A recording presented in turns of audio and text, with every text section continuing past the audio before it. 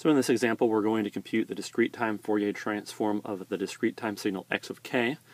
In this example, we're going to work with x of k equals alpha to the k u of k minus 1, where u is the unit step function. And we're going to assume that the number alpha, in general, could be complex, but we're going to assume that its magnitude is less than 1. So that will prevent anything from kind of blowing up as k gets large. If I plotted x of k, in general, alpha can be complex, but if I think of it as being a real valued quantity whose magnitude is less than 1, then x of k looks something like this. It's kind of this decaying exponential signal. It starts at time k equals 1, because that is when the unit step function turns on. And as k gets large, alpha to the k gets smaller and smaller and smaller. So this might be something, this might be what x of k looks like for some particular value of alpha, maybe alpha equals 0.6 if alpha was real value, this is what the signal would look like. So this, this sketch over here really just helps us as we do our computation to know where to start the time index when we need to start adding up terms in the DTFT definition.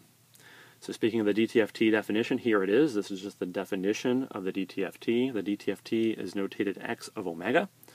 So this infinite sum is what we need to evaluate for this particular x of k. So I'm going to go ahead and plug in the x of k that we're working with, alpha to the k times u of k minus 1 times e to the minus j omega k.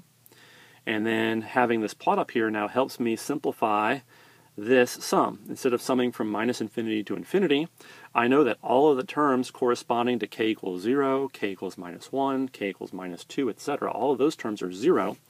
So I can change this bottom limit from k equals minus infinity to k equals 1 without having changed the sum at all. Really what I'm doing here is I'm letting the unit step function turn off my signal, so to speak. So after doing this simplification, I don't have the unit step function because I've used the unit step function to simplify this lower limit. Let's keep going. I can simplify this quantity by noting that both of those quantities are really something raised to the k.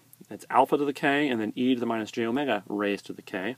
So I can put both of those in parentheses and raise their product to the k. So that's just a property of exponentiation.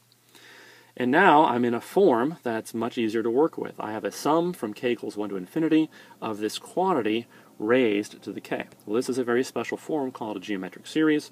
This looks like this form right here. k equals some number, m, to some number n, of some quantity raised to the k. So this form right here is exactly the form I have right here.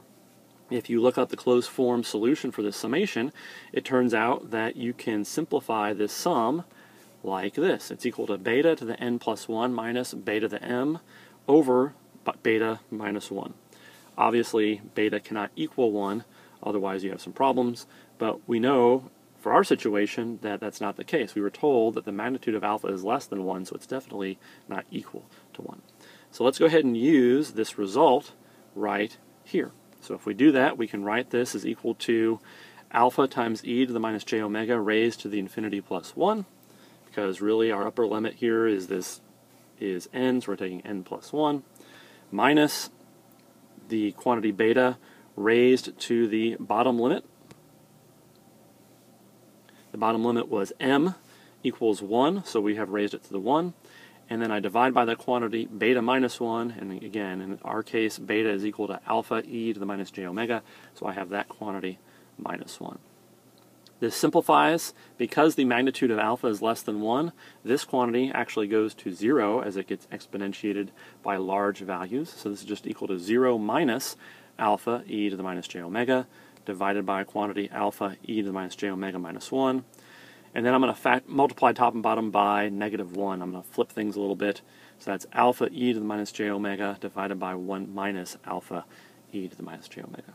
So what we've done is we have just computed that the discrete time Fourier transform of this signal, alpha to the k, u of k minus 1, is this quantity right here. It's a complex valued quantity that is a function of omega. So this is the DTFT of this discrete time signal. Another way of saying it is that this discrete time signal and this function of omega here are DTFT pairs. So that's what we wanted to compute. We have done what we wanted to do. We computed the DTFT of this discrete time signal x of k.